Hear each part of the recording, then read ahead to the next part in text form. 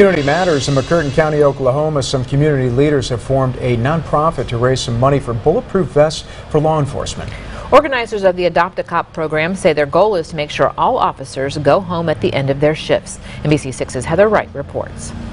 McCurtain County is among the largest in the state. McCurtain County is 1,902 square miles. We're the, we're the third largest area-wise in the state of Oklahoma. Which means backup for law enforcement may not always be nearby. They can be an hour or farther from any help uh, from another officer. Curtis Luna is an Idabel business owner. He recently formed an Adopt a Cop program. The goal to raise $60,000 for bulletproof vests. That would cover all the law enforcement in the county for a level 3A vest and a level 4 vest. Some of the county's larger departments, like the Sheriff's Department and Idabel Police, have level 3A vests that can protect against bullets from handguns. We've had calls of, of some incident going on, and our officers have literally driven up right in the middle of the scene while it was still an ongoing situation.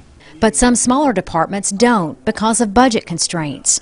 Adopt a Cop organizers say all departments are in need of level 4 vests. Especially in the rural, rural parts of the, the county, uh, everybody's carrying rifles. Uh, these vests will stop a rifle round up to a 308 caliber.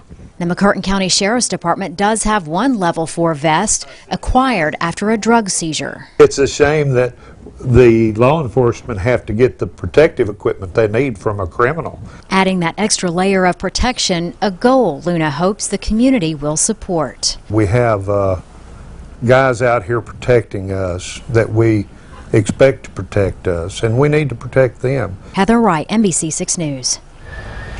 A community meeting about the Adopt a Cop program is set for tomorrow night at 6.30 at the First Baptist Church in Idabel. For more information on how you can help, visit Arklatex homepage.com.